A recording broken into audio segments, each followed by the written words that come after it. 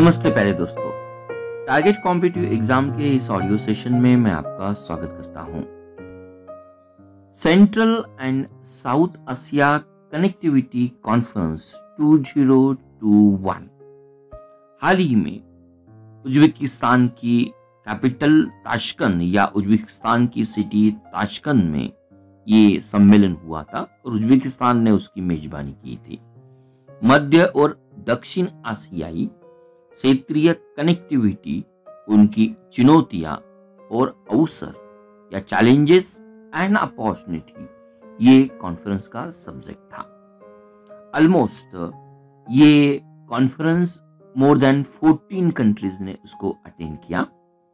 हमारे लिए एग्जामिनेशन के लिए इंपॉर्टेंट पॉइंट ज़रूर ये होगा कि ये central Asia and south Asia connectivity conference ने भारत की ओर से हमारे विदेश मंत्री डॉक्टर एस जयशंकर उन्होंने अटेंड किया और सेंट्रल एशिया और साउथ एशिया को कनेक्ट करने के बारे में भारत का ईरान में जो Chabahar port work innovation workout हो रहा है, उसके मद्देनजर उन्होंने इकोनॉमिक ग्रोथ के लिए कनेक्टिविटी, कॉमर्स और कॉन्टैक्ट को बढ़ाना इस मसले पर ज़्यादा स्ट्रेस दिया। तो उज्बेकिस्तान ने होस्टेड किया central south Asia connectivity conference 2021 next book आता है bank with soul bank with soul B A N K bank with soul S O U R Equitas E Q U I T S bank with soul इस book के जो रचिता है सेवानिवृत्त I S अधिकारी C K गरियाल द्वारा इस book को लिखा गया है। और ये सी के गरियाल ईडी आई टी यहाँ पे ईडी आई टी का जो लॉन्ग फॉर्म है, Equitas development initiative trust. C K Gariyal, C is the founder trustee of EDIT, Equitas development initiative trust की वो फाउंडर ट्रस्ट है।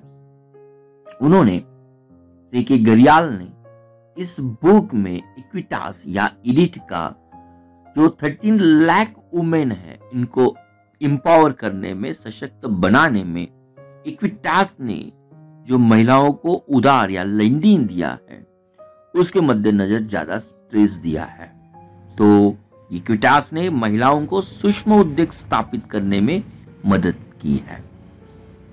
एग्ज़ाम के point of view bank with soul Equitas इस book के रचिता या book के author कौन थे तो इस बुक के ऑथर थे सेवानिवृत्त आईएएस अधिकारी C K Gariyal bank with soul Equitas ये मेंशंस करता है लेंडिंग प्रॉपर्टी या lending ability uh, empower lending ability essentiality for empowerment of a woman by the equitas.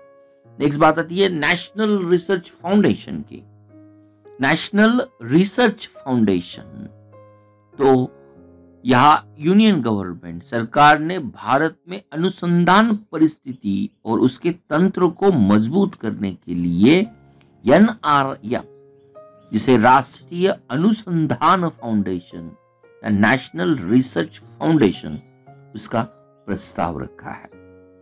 As name it Bharat में अनुसंधान परिस्थिति की तंत्र को मज़बूत करना इसका मेन ऑब्जेक्टिव है।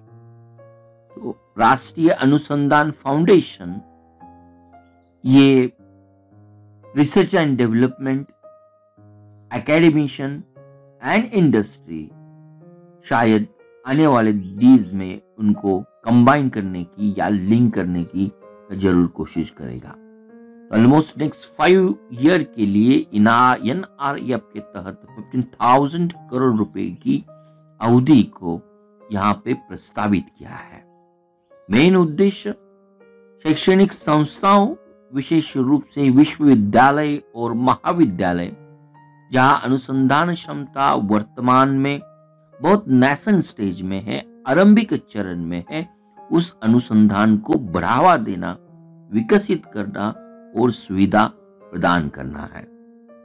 What is NRF NRF stand for the national research foundation राष्ट्रीय अनुसंधान फाउंडेशन ये भारत में आने वाले फाइव इयर्स में हमारे लिए अनुसंधान परिस्थिति की तंत्र को बढ़ावा देने के लिए काम करेगा।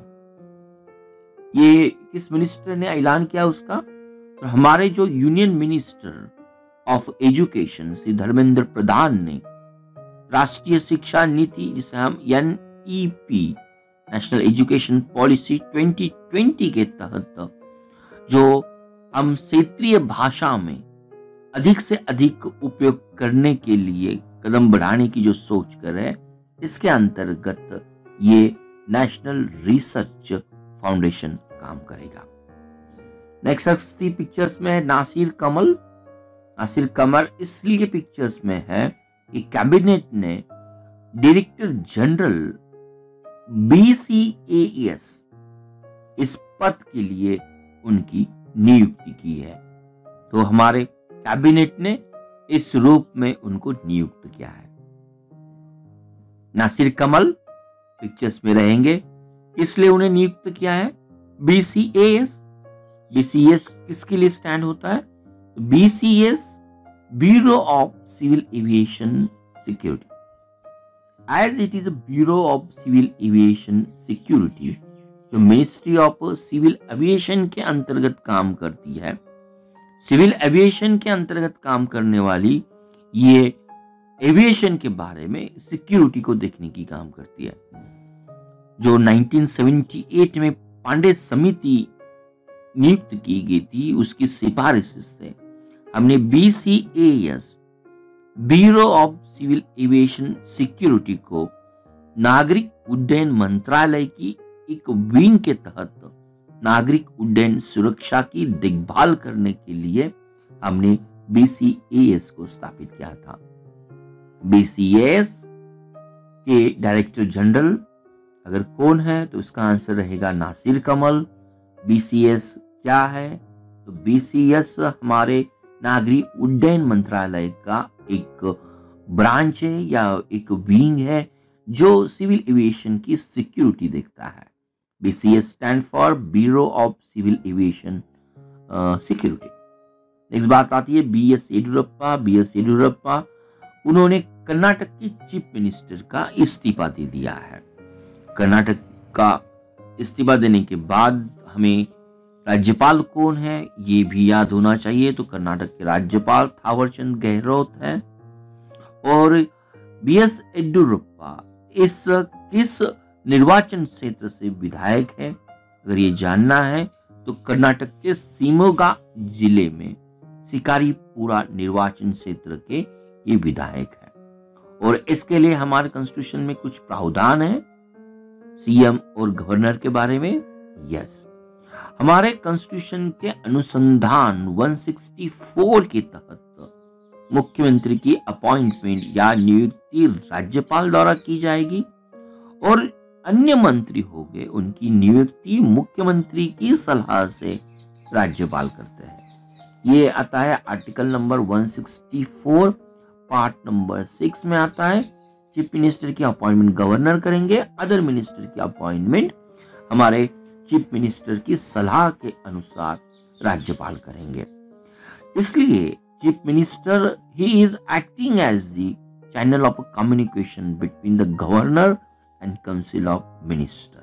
और चीफ मिनिस्टर की जो अपॉइंटमेंट होती है, ये मेजॉरिटी स्टेट लेजिस्लेटिव असेंबली द्वारा होती है। राज्य की विधानसभा के बहुमत के माध्यम से उन्हें चुना जाता है। नेक्स्ट बात आती है IGBC green platinum rating IGBC green platinum rating Kandla S E Z को मिली है। तो फ़र्स्ट पॉइंट ये भी मालूम होना चाहिए कि ये जो आईजीबीसी ग्रीन रेटिंग है, ये क्या है? This is known as IGBC stand for Indian green building council rating program तो एज नेम इट सेल्फ जो भी कमर्शियल रेसिडेंशियल फैक्ट्री बिल्डिंग्स होती है, उसके लिए जो ग्रीन रेटिंग दी जाती है, इसे हम आईजीबीसी ग्रीन रेटिंग कहते हैं। IGBC along with ministry of commerce and industry उन्होंने ग्रीन एसईजेड गाइडलाइन को प्रपोज किया है। तो कांडला एसईजेड को आईजीबीसी की ग्रीन प्लैटिनम रेटिंग मिली है। हमें ये जानना ही उतना ही इंपॉर्टेंट रहेगा कि कांडला पोर्ट की आईजीबीसी प्लैटिनम रेटिंग किस लिए मिली है। तो डेफिनेटली ग्रीन पैटिंग है बिल्डिंग के लिए कमर्शियल थिंग्स के लिए, या हम कहेंगे जो भी फैक्ट्रीज होती है तो ओ, कांडला एसीजी का जो ग्रीन मास्टर प्लानिंग है, उनकी जो पॉलिसी इनिशिएटिव्स है, जो कांडला ग्रीन इंफ्रास्ट्रक्चर डेवलप करने की, कांडला एसीजी की जो ताकत है, उसके लिए ये ग्रीन रेटिंग प्लैटिनम मिला है। कांडला स्पेशल इकोनॉमिक जेन सबसे इम्पोर्टेंट ये जो बंदरगाह है, ये गांधी धाम के नाम से गुजरात में जाना जाता है, और ये बंदरगाह गांधी धाम शहर में स्थित है। सबसे इंपॉर्टेंट बात ये इंडिया का multi product special economic zone है। It is not responsible for only one product export और वही हम कहेंगे कि it consist of the number of product may be gems और ज्वेलरी उसकी तो खासियत है। Along with gems and jewelleries ये एक्सपोर्ट करने का काम करता है। इलेक्ट्रॉनिक सॉफ्टवेयर, टेक्सटाइल और गारमेंट। तो कंडला सेट पिक्चर में Indian green building council, IGBC का प्लैटिनम रेटिंग उसे मिला है।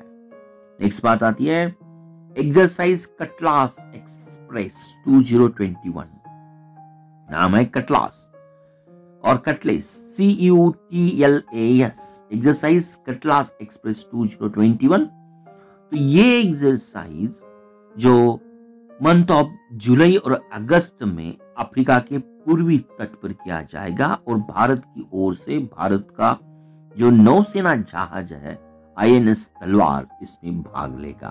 तो कटलास एक्सरसाइज कटलास एक्सप्रेस 2021 की एक्सरसाइज ये ईस्ट अफ्रीकन और वेस्टर्न इंडियन ओशन जो तटीय राष्ट्र है, उनके बीच में कंडक्ट की जाएगी। उसमें बारह पूर्व अफ्रीकी देश सहभाग के रूप में काम करेंगे, लेकिन इंडिया की इसमें जो भूमिका होगी एज ट्रेनर रोल की तरह होगी। तो कटलास एक्सप्रेस एक्सरसाइज 2021 किस समुद्र में या ओशियन में ऑर्गेनाइज किया जाएगा? तो डेफिनेटली ये हिंदी महासागर होगा। उनमें से कौन से राष्ट्र पार्टिसिपेट हो गए? पूर्व अफ्रीकन देश। और हमने ये भी देखा था कि जो भी पार्ट उसमें किया जाएगा, ये रहेंगे हमारे लिए मोस्टली जो पार्टिसिपेशन राष्ट्र उसमें भाग लेंगे, ये वेस्टर्न इंडियन ओशन के बारे में हो गए। वन थिंग यहाँ हमें, हमारे एग्ज़ाम के लिए, हमारे सागर प्रोजेक्ट को भी जानना इम्पोर्टेंस होता है। तो सागर प्रोजेक्ट जो मेन विजन्स है कि security and growth for all the region इस तहत आईएनएस इंडियन नेवल शिप तलवार का पार्टिसिपेशन इस एक्सरसाइज में इंडिया की इंडियन ओशन रीजन में जो मेरीटाइम पॉलिसी है, उसके अंतर्गत ये पैरेलल रन करेगा। सागर क्या कहता है? सागर का लॉन्ग फॉर्म होता है security and growth for all the region security and growth for all the region next बात, प्रमोद भगत। प्रमोद भगत ये हस्ती पिक्चर में इसलिए है कि 2019 के दिव्यांग स्पोर्ट्समैन ऑफ़ द ईयर के लिए उन्हें चुना गया है। तो प्रमोद भागवत, ये डिफरेंटली एबल्ड जिसे हम दिव्यांग ये शब्द का यूज़ करते हैं। डिफरेंटली एबल्ड स्पोर्ट्समैन हो गए 2019 की ईयर के लिए। और ये टोक्यो पैरा ओलंपिक में भी सहभागी ज़रूर है। लेकिन हमारे लिए इंडियन स्पोर्ट का जो अवार्ड दिया जाता है, ये R P S C group in association with Virat Kohli foundation द्वारा दिया जाता है। तो प्रमोद भागवत, ये differently able sportsman of the year में यहाँ पे काम करेंगे। नेक्स्ट बात आती है vision for everyone vision for everyone ये यूएन जनरल असेंबली ने इस रिजोल्यूशन को अडॉप्ट किया है। तो विजन फॉर एवरीवन इसे किसने प्रमोट किया? ये रिजोल्यूशन को स्पॉन्सर किसने किया? तो वी हैव बांग्लादेश एंटीगुआ और आयरलैंड इसके बाद नंबर ऑफ़ को स्पॉन्सर कंट्रीज़ है यूएन यूएन का ये जनरल असेंबली का रेजोल्यूशन लीगली किसी राष्ट्र के ऊपर बाइंडिंग नहीं है। इट इज़ अ वॉलंटरी लेकिन vision for everyone itself it कि almost more than the people या नेचुरली हो, या एक्सीडेंटली हो they are suffering from the vision impairment तो इसके तहत, ये रिजोल्यूशन के तहत जो तय किया गया है कि आने वाले समय में there must be some policy from the participation participating nations to relieve और to promotion of vision next अगर विजन की बात आती है, जो सस्टेनेबल डेवलपमेंट गोल है, जो 17 गोल है 17 गोल में से जो थ्री गोल आता है जो ensures the healthy live and promote the well being for और ऑल द एजेस इसीलिए ये रेजोल्यूशन उतना ही इंपॉर्टेंस होता है। एस डी जी थ्री स्वस्थ जीवन सुनिश्चित करे और सभी उम्र के लोगों के लिए कल्याण को बढ़ावा दे। Ensure the healthy life and promote the well being for all the UN general assembly 1945 में स्थापन की गई थी। न्यूयॉर्क में उसका हेडक्वार्टर्स है। यूएन के जो सिक्स ऑर्गन्स है, उसमें यूएन आता है। ये यूनाइटेड नेशन की जनरल असेंबली यूएन का budget non permanent members of security councils और सेक्रेटरी जनरल ऑफ़ यूएन को अपॉइंटमेंट करने में महत्वपूर्ण भूमिका निभाती है। नेक्स्ट बात आती है। हमारे इसरो के बारे में तो इसरो का व्यापारिक कार्यक्रम जो उन्होंने स्टार्ट किया है एट कंपनीज़ के साथ उन्होंने स्टार्ट किया है। तो इसका मतलब ये होता है कि इसरो जो स्पेस डीम मर्केंटाइज प्रोग्राम्स हो गए ये हमारे इंडस्ट्री के साथ साझा करेंगे।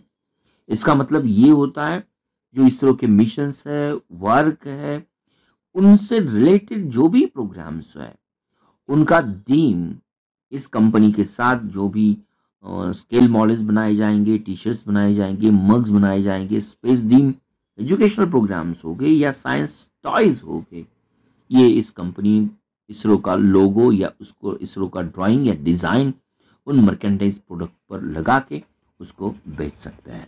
तो ये था इसरो मर्केंटाइज प्रोग्राम उन्होंने स्टार्ट किया विथ एट कंपनी के साथ और लास्ट क्या है।